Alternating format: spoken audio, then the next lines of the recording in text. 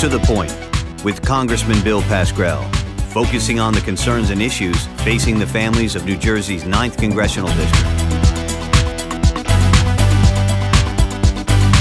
Hello, I'm Congressman Bill Pascrell. I'd like to welcome you to the latest edition of To the Point.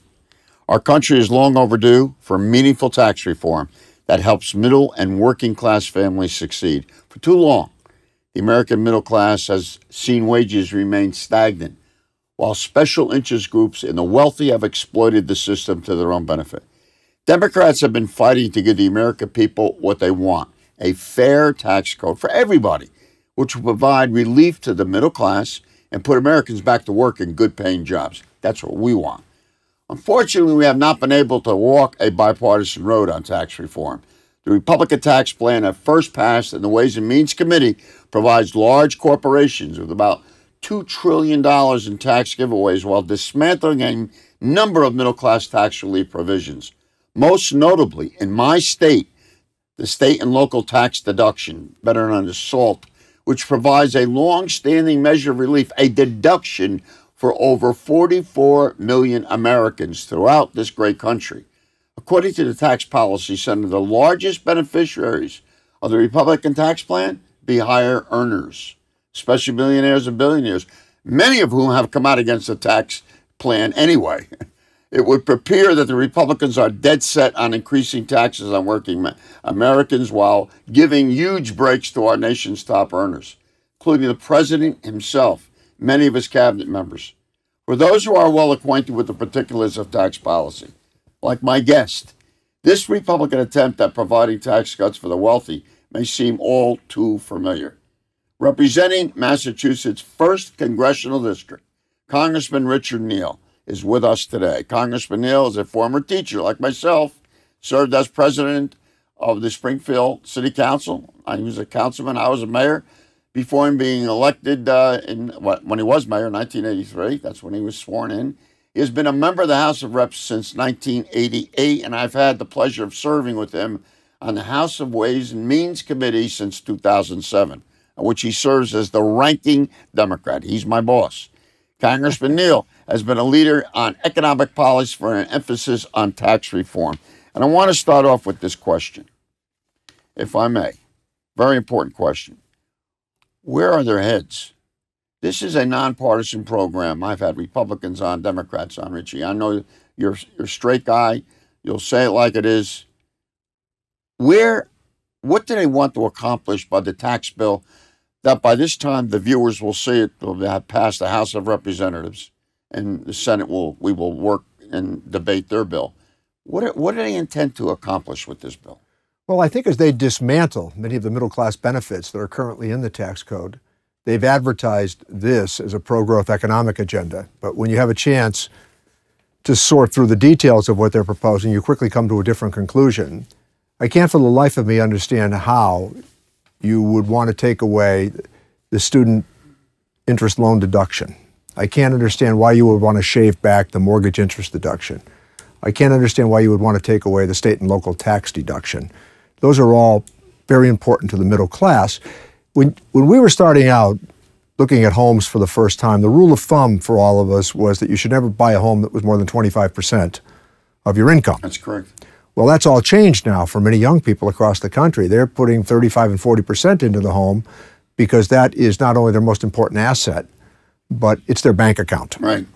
And I think with this argument that all of a sudden you can shave back the mortgage interest deduction to essentially provide a tax cut for people at the very top by repealing the estate tax and the alternative minimum tax, which only 4.5 million Americans pay, right. and they're all, for the most part, upper income Americans and the estate tax. We, we took care of the middle class and the alternative minimum tax a few years back. Two years ago. The So middle class doesn't pay AMT anymore. Now we're dealing with the Trumps of the world. You- that's exactly right. And You're- what happens uh, with this uh, doing away with the AMT for those folks? Well, they abolish it.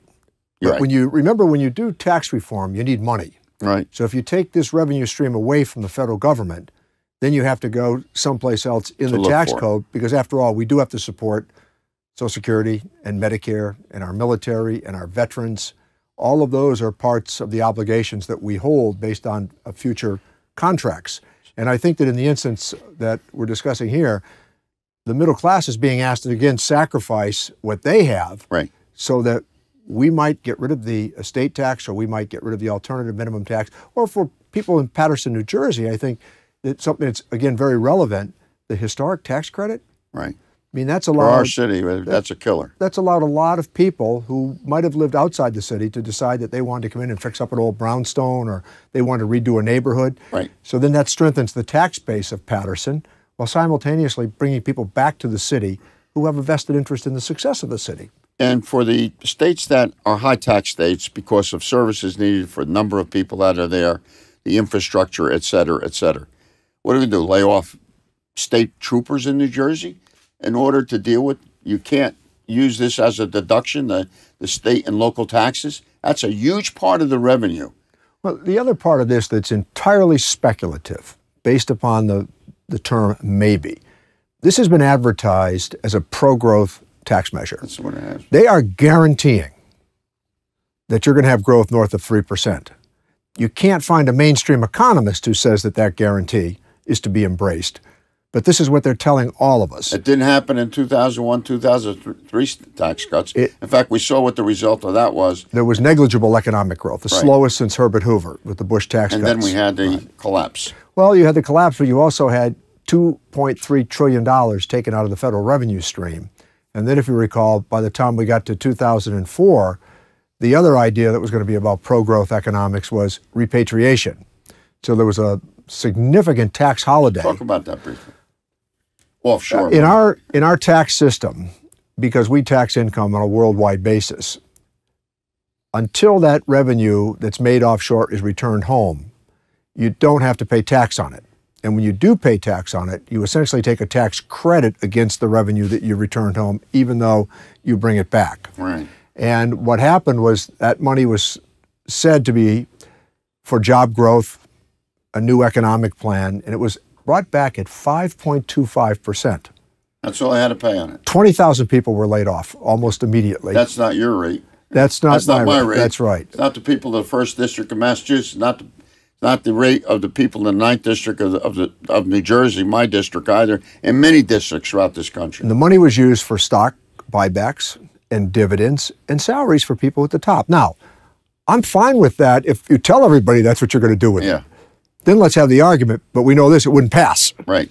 But when you say we're going to bring it back for job creation and we're going to invigorate the economy Right. and encourage more risk taking, none of that happened. Right. So you had three huge tax cuts during that period of time, and the result was, again, very slow economic growth. Well, growth. that's what I'm getting. That they're saying because they're doing this for those one or two percenters or ten percenters, that that money is going to be invested in jobs. That did not happen in the past tax cuts that we've had.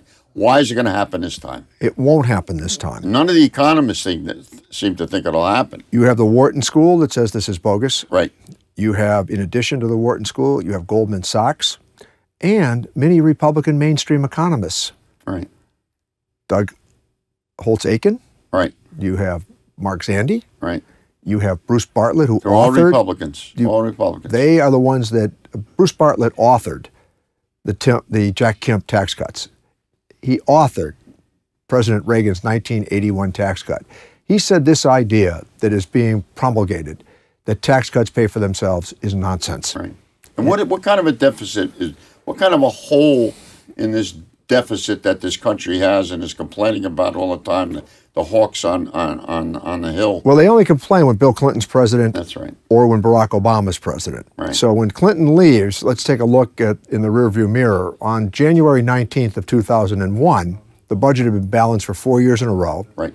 The most profound economic growth in American history occurred. Right. 23 million new jobs and a $5 trillion projected surplus. Right. This is the trouble with making projections. Nobody could project the events of 911. Of course. Nobody at the time would have said later on that, oh, there's going to be a recession, that you're going to start losing 800,000 jobs a month at the end of the Bush You years. did. And you need a cushion.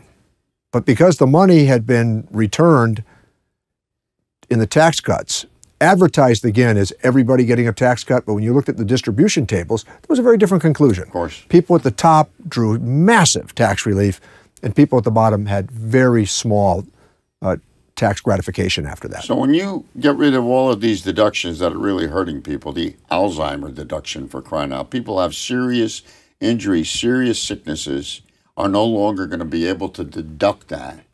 Well, not only that, we reg- insane. we regularly celebrate increases in American longevity. Yeah. We say, isn't it great that now the average male, I think, is at uh, almost 80 years old and the average female is at 81, but those numbers keep going north. Right. But it also has a, another uh, tangible impact, and that is as people live longer, Right. there's going to be more dementia. That's correct. there's going to be more Alzheimer's. Right. So they're saying essentially with this tax cut that you're on your own.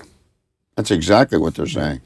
And the other place, you know, you take the in- inheritance tax, the estate tax that they, they've convinced people over the last 10 years that everybody's going to get a windfall when Uncle Louis passes away or when your dad passes away, Father, God forbid. But the fact of the matter is, we're only talking really about 5,200 families in the whole country. So they made people think this is the death tax, the government is killing you. When people aren't paying federal taxes, they might be paying some state taxes on your estate. That's a different thing. We have nothing to do with that. Only 5,200 families. And there are Democrats who wanted to remove farmers from that altogether over the past several years. The last compromise that we reached on the estate tax was that individuals could keep five and a half million dollars, and a married couple could keep eleven million dollars Without, without any tax. without, no, without any taxes. I mean, Gary Cohn, who is the president's chief economic advisor, he recently said, and I quote, "You got to be stupid to pay the estate tax." Anybody who knows anything about uh, tax law, you would know that uh, life insurance gets people around the estate tax. And the other part of it that I think is really important on the estate tax to acknowledge is that America is about upward mobility. Say it. We don't live and work in the House of Lords, where peerage dominates based upon hereditary right.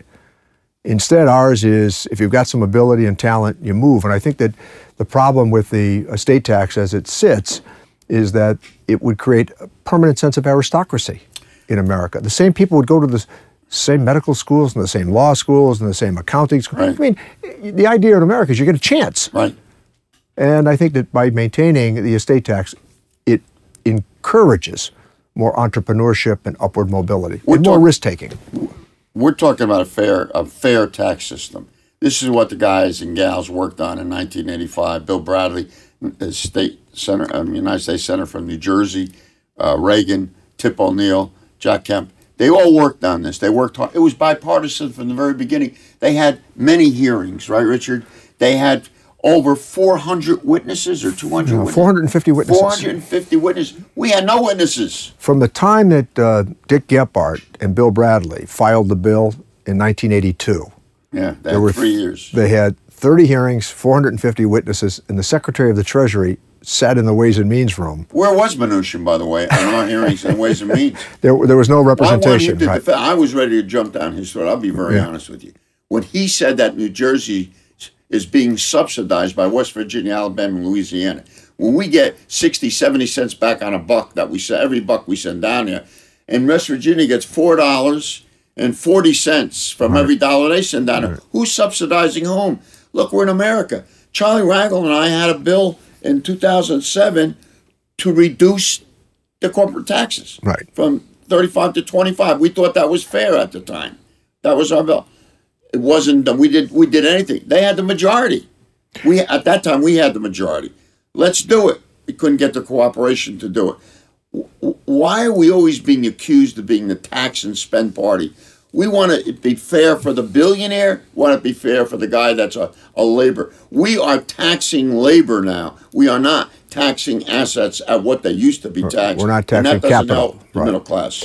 Uh, at a meeting at the White House in 2001, uh, within a matter of days after George W. Bush became president, he invited me to the uh, Oval Office to talk about taxes. And he told me what he was thinking of. And he asked me what I thought. Cheney was there, as was uh, Paul O'Neill, the Secretary of the Treasury. There were about seven or so of us in the room. And I said, you know, Mr. President, there's enough money there. Why don't we just do a middle class tax cut and continue to pay down the debt? It was ignored. And when I look back at that, that was a moment where we could have really given the middle class a handsome Right. tax cut. Yes. The, the rich in America at the time were not asking for a tax cut. They weren't asking for it now. They, their attitude is, look, the economy's doing okay. We'd like Am it I to do better. No, you're right. week 400 of them billionaires and millionaires go, so we don't need this tax cut right now. Let's invest it. People in the middle class, they spend a tax cut. Right. People at the top Don't. save it. They don't create jobs either. Well, they save the they money. They create jobs a different way than the one we're, we're trying to plan. And we're taking money out. This huge deficit is a burden on our children and our grandchildren. Well, it's $2.3 trillion that is being borrowed for the purpose of giving tax cuts to the people at the top. So it's really like taking this, the nation's revenue system to the casino Yeah. and they're gambling. Maybe this will happen, but what happens if it doesn't? What happens if it doesn't? I want to talk about one other thing. We've been talking about the fact that American corporations are being taxed so high. I was over in Germany this summer. We did a whole economics symposium.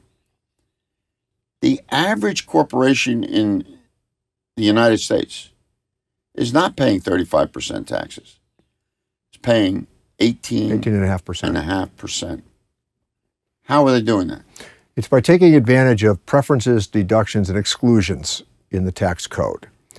And some of those, for good reason, are justified, and others are the work of clever advocates. Well, And I understand that. Yeah, they have every legal Right. reason to do that. But it, that's right. People are not going to pay more than they have to. Right. I understand that. And there is a difference between tax evasion and tax Right. avoidance. Right. The, one of the problems we have now internationally is what we call stateless income. Right. It's profits that are booked in nations where there's virtually no rate at all. So all of a sudden, let's say you make the money in Berlin, but you decide to report the transaction as having taken place in Bermuda Right. because there's no corporate tax there. No corporate tax. And so that money just So should we, we be, we be shocked when we see that Apple pays no federal taxes?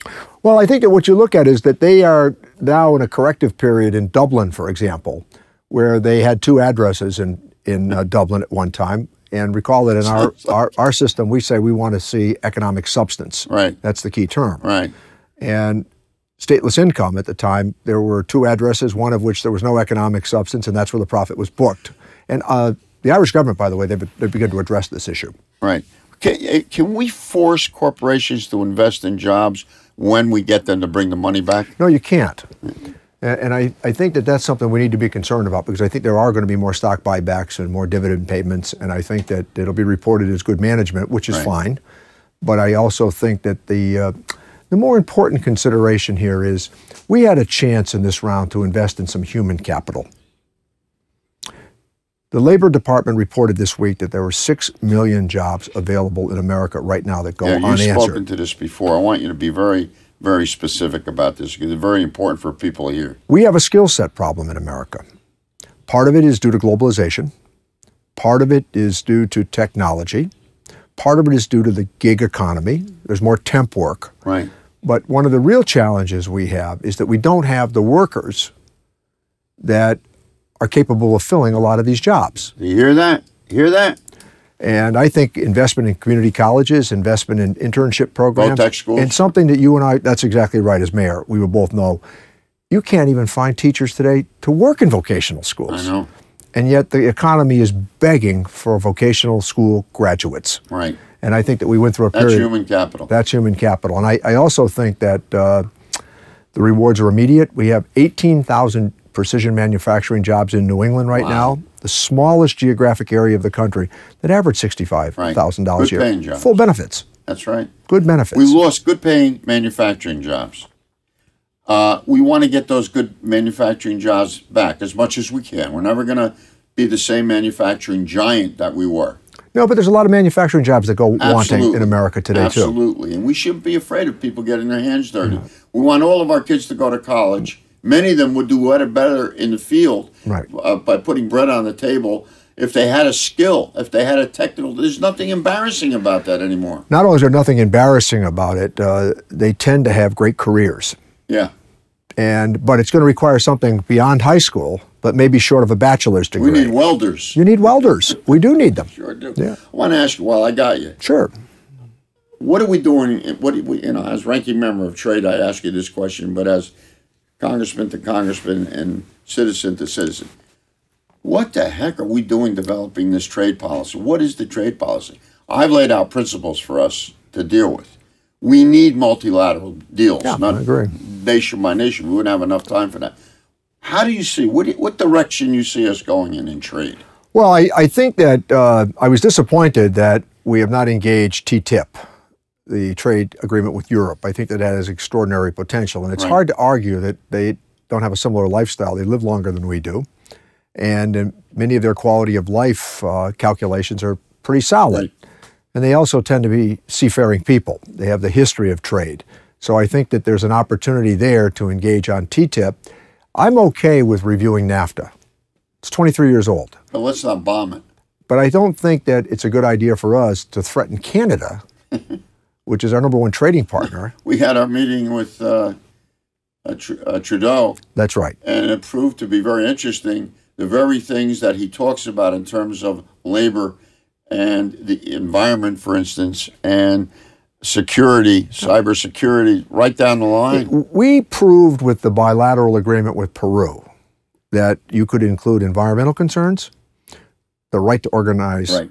a union, and human rights. Right. And they accepted it on And all three counts. it. And I think that that's the that's the standard that we ought to employ going forward. I mean, one of the things that we can guarantee in these agreements is the right to organize a union, Sure. and not a government-sponsored union. That was the problem with uh, TPP. I think Vietnam Right. was paying such a low wage, and and I'm in favor of the idea of taking a tougher position on wages as it relates to Mexico as well. Oh, yeah. But you know, America. They're paying, they're paying a buck ten per hour. America leads the way.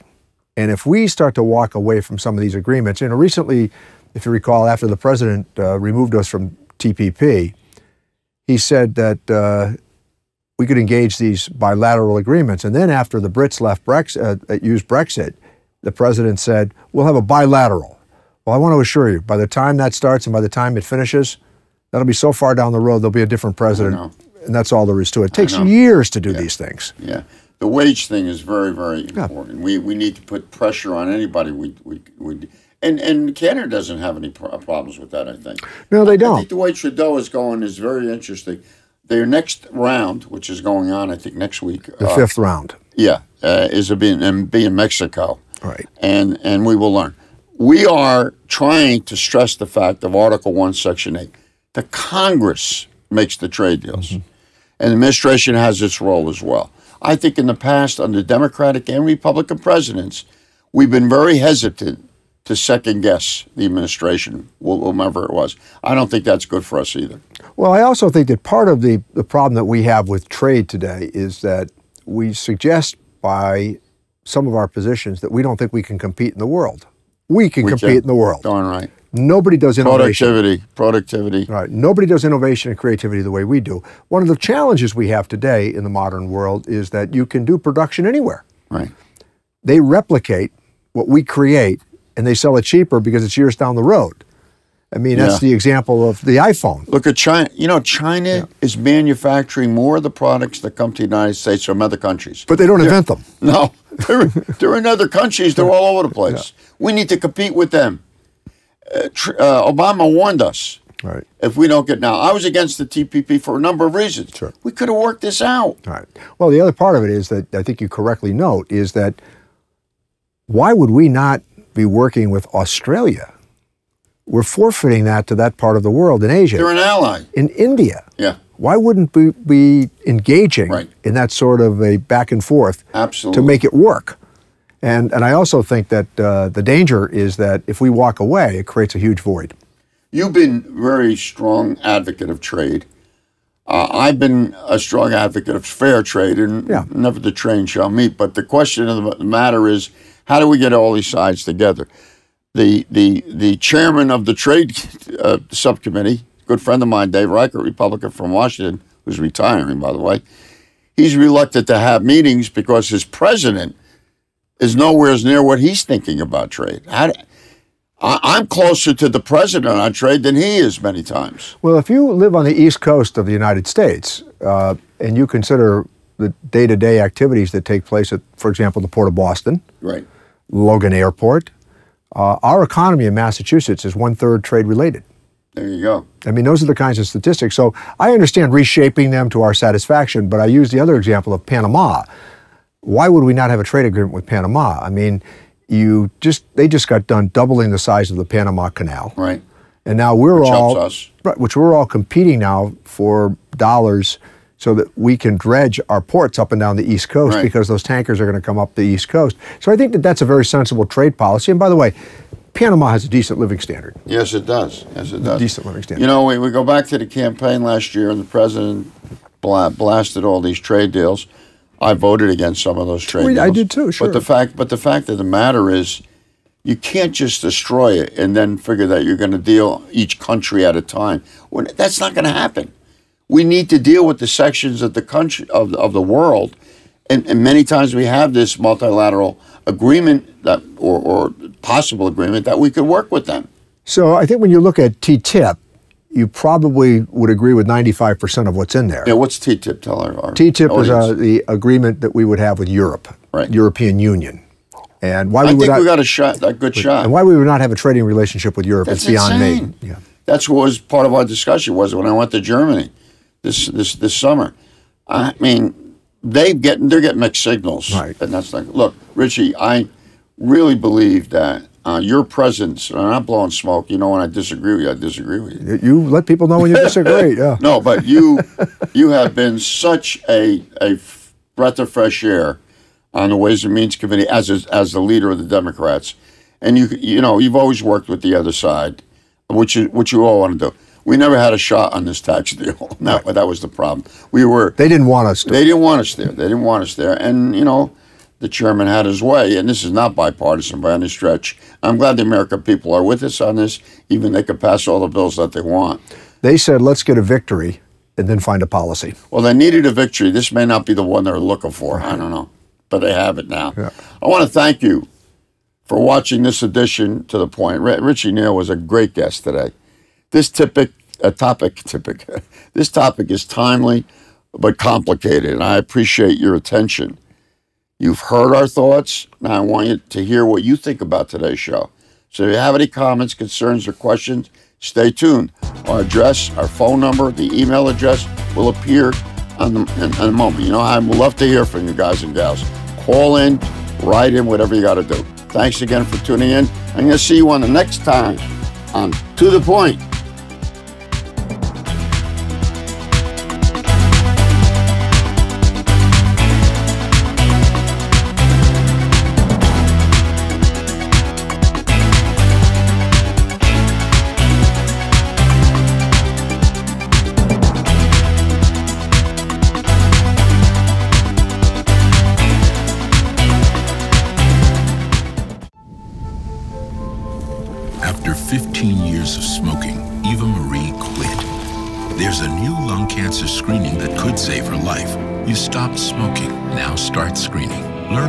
savedbythescan.org.